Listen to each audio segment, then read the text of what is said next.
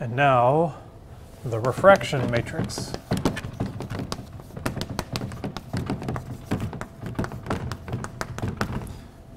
So the general way to think about refraction is we have an optical axis and we're going to allow for a curved surface that has some radius.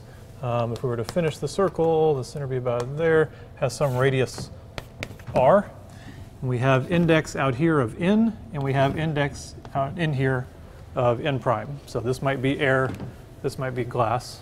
And we just have a ray that's going to refract, as you can imagine. It comes up like that, it'll fall to the normal, well, it'll fall towards the normal some amount.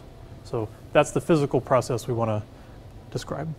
So if we did a bunch of geometry, we could solve for the refraction matrix. I'm just going to give it to us. Um, it is 1, 0, n over n prime, and then n minus n prime over r n prime. Those are your four elements for a refraction at a curved interface going from n to n prime. Let's do a quick um, use of it and just see one little thing we'll learn. Um, 1, 0, n minus n prime over r, n prime, n over n prime. Just for practice, let's apply that to y and alpha and see what do we get. We get 1 times y plus 0 times alpha is y. And then here for the angle, this is where we get a sort of a big mess. We get um, uh, y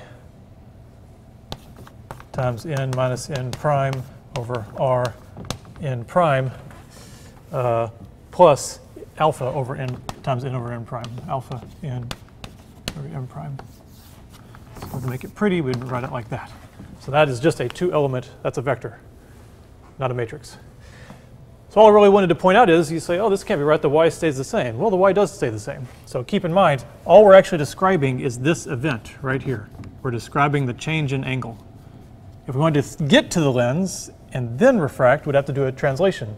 But we didn't do a translation. All we did was that little turn. Therefore, the height stayed the same and the angle changed. Now we'll put a bunch of them together and see what we can make.